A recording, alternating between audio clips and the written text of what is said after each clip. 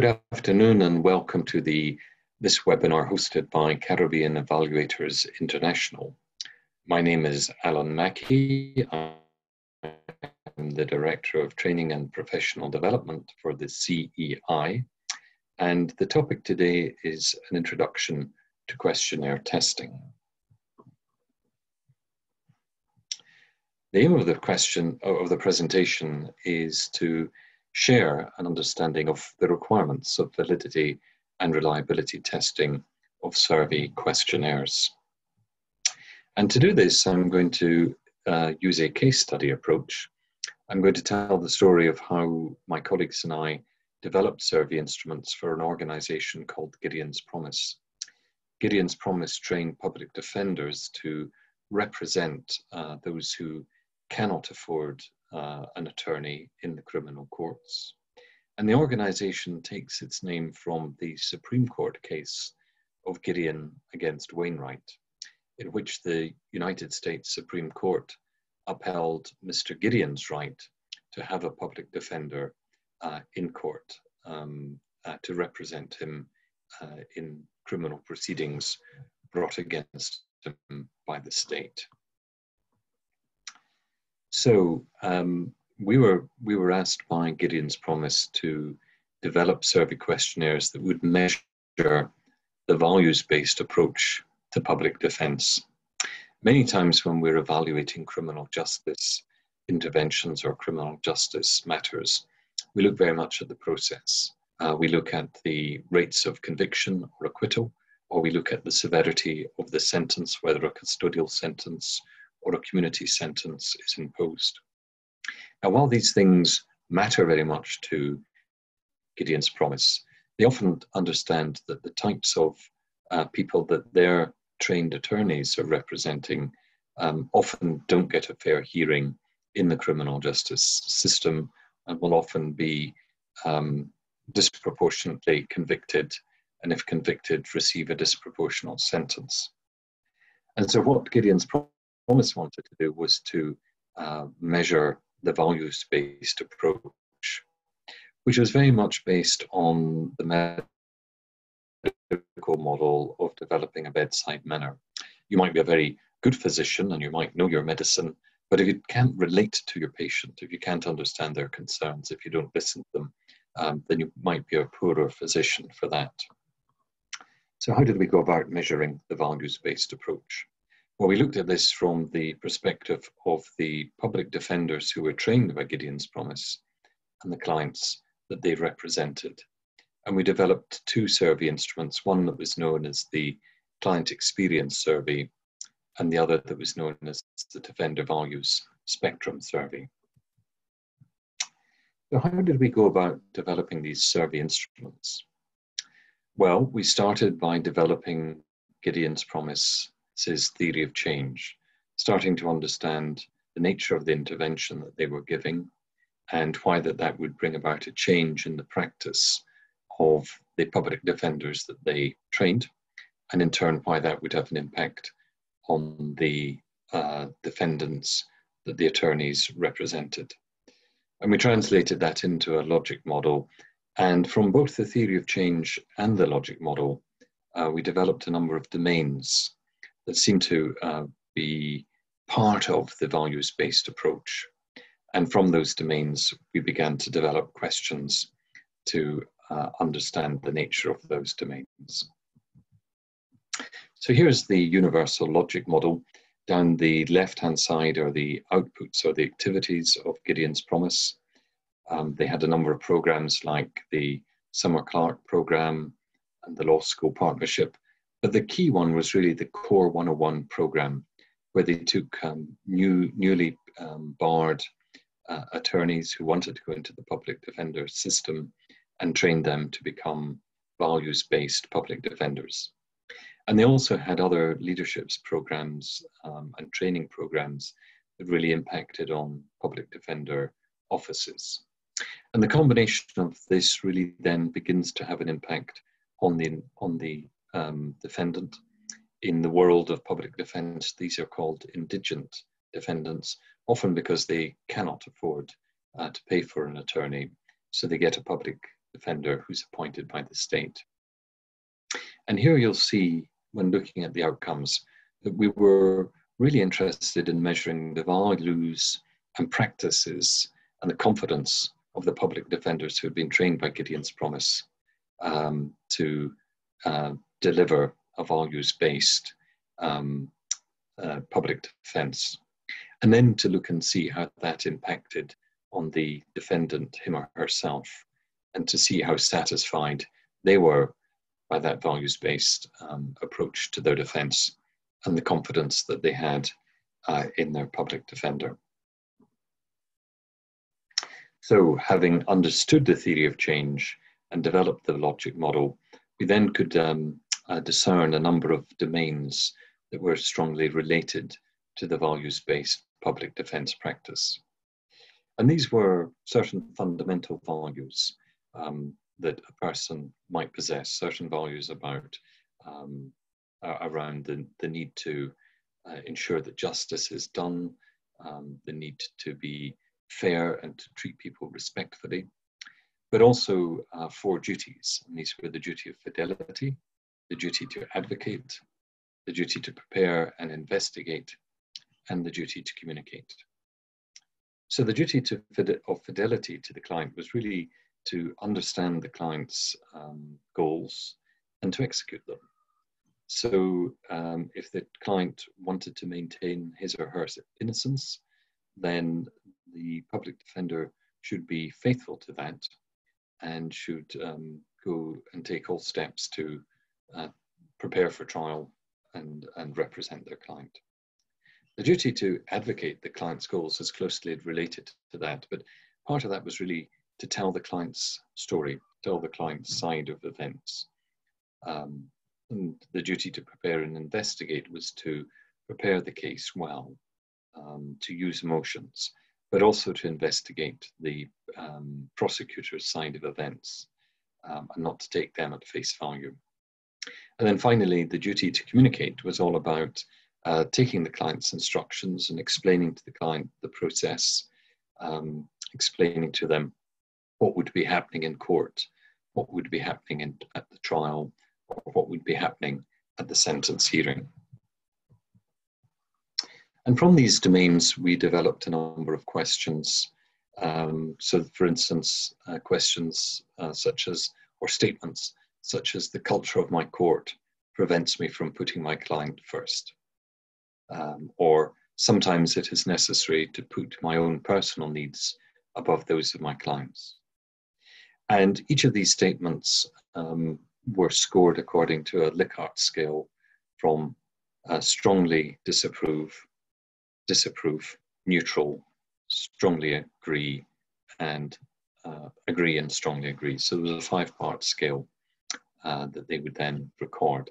And I think there were about uh, 40 questions in total um, that we asked the public defenders and uh, their clients. So, um, how did we then um, test these instruments? Well, first, after understanding the domains and coming up with the questions, the first thing we did was that we did some cognitive testing.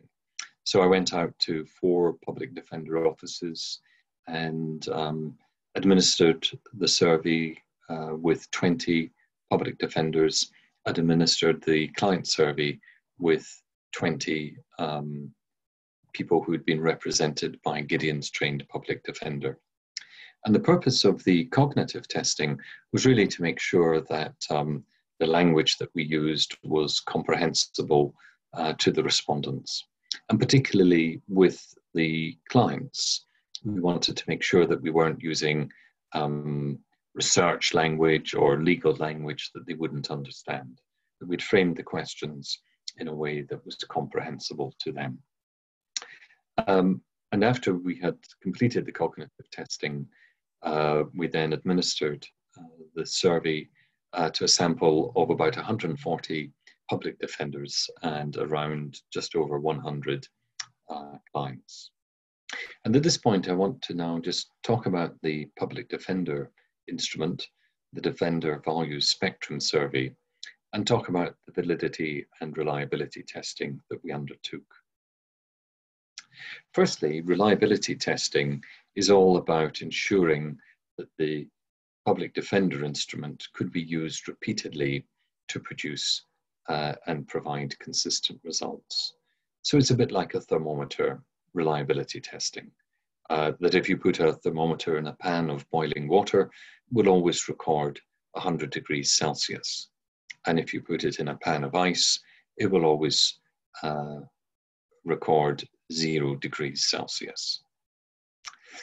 So that's all about uh, consistency. Um, validity testing was to ensure that the, uh, the Defender Values Spectrum Survey was capable of measuring what it was designed to measure.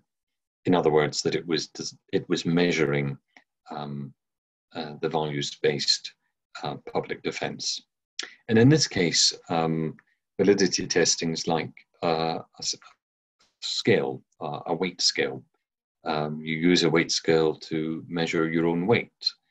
Um, but and it will always, and that's what it does. It, measures weight. You don't use it to measure distance or to measure temperature. It's just there designed to measure weight. So we wanted to make sure that the Defender Values Spectrum Survey was measuring uh, the notions and domains of the values-based public defense. The first thing that we did uh, was we undertook the first stage of reliability testing. Um, and in this, we used a statistical test known as Cronbach's alpha. Um, Cronbach's alpha is a coefficient alpha developed by the statistician Lee Cronbach in the 1950s. And as I said in the introduction, it measures reliability or internal consistency. So, for example, a company might give a job satisfaction survey to their employees. And a high reliability means that it's measuring job satisfaction, while a low reliability means that it's measuring something else or possibly nothing at all. And Cronbach's alpha tests are very, um, a very good way of measuring multiple question Likert scale, uh, Likert scale surveys. Um, and so that's what we did here. There's a rule of thumb that um, uh, any score on the alpha Cronbach's alpha above 0.7 means that the instrument is generally reliable. And this slide showed us that overall, the Defender Value Spectrum Survey as an instrument uh, scored 0.86 So that's above the 0.7 um, score of acceptability, and we're very happy with that. But when we looked at the five individual domains, the fundamental values and the four duties, we saw that the um, the individual the scores for these individual elements fell well short of the um, 0.7 rule of thumb. But we were happy that overall uh, the instrument was working. So then we turned to the um, validity testing and we used uh, factor analysis that uh, mapped the five domains against five other factors. And the analysis was to determine which questions from each of the domains loaded onto which factors.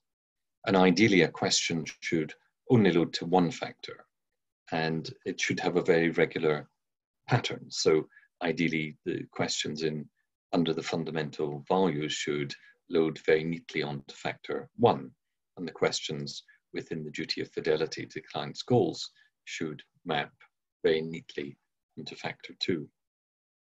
But as you'll see from uh, this uh, chart here, the loading was um, much less, um, had much less of a pattern, and um, and there were some questions illustrated in grey on the right hand of the figure that just weren't loading onto any factor at all.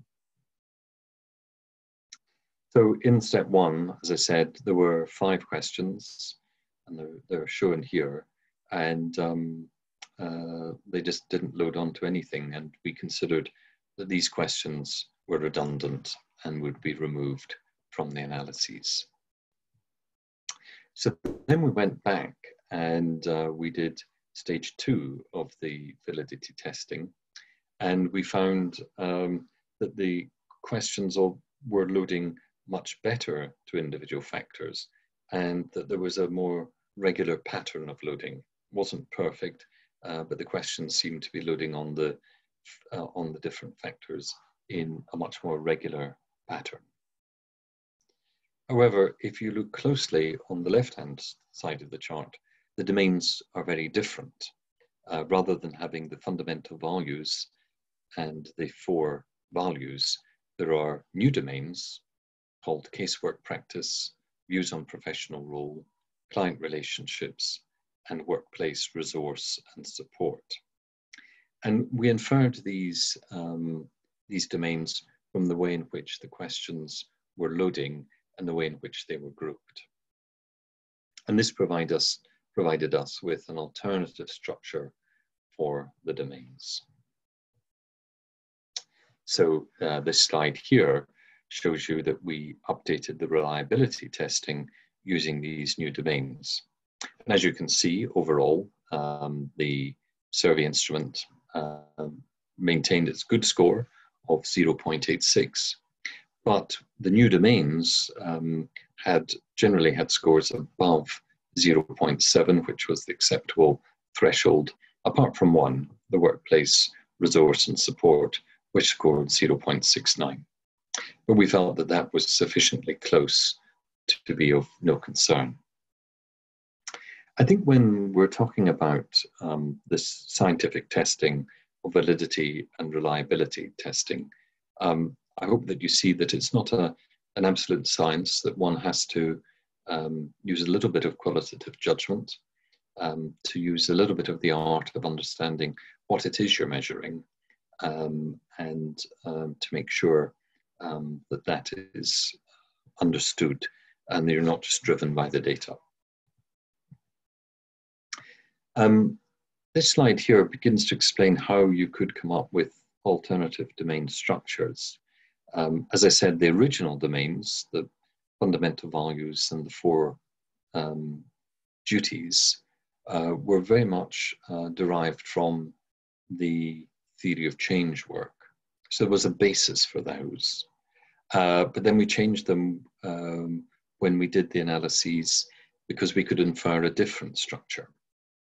Now, I don't think either is right or wrong. I think it's rather like um, playing cards.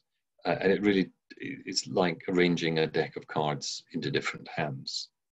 So, for example, if you're playing uh, a game of cards that um, is based on using matching cards like Go Fish, where you might want to be getting all kings in your hand, um, then that's one way of playing cards.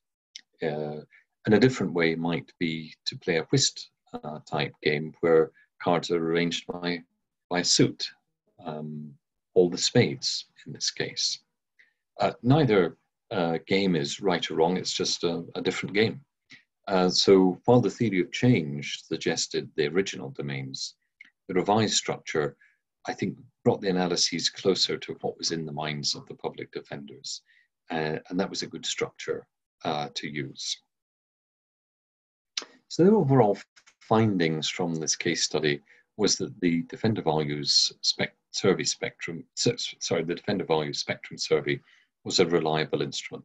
That we could be sure that if a public defender took the questionnaire several times, the same results would be recorded. We also felt that it was valid, that it was capable of measuring the domains that it was designed to measure um, and that people with the same values will tend to share the same responses to different questions. Um, so, so that was that was the overall findings. And again, I do find that the alternative domain structure was helpful to understand uh, what was perhaps going on in the minds of the respondents. So finally, the last word, if at first you don't get the survey results you want on your first survey, get mad and tear it up. Well, I don't think that's quite the case. Um, I think the designing of surveys um, is, uh, there's a good process to that, uh, which I hope you've, you, I've outlined to you. Um, everything goes back to a, a, good theory of change and a logic model.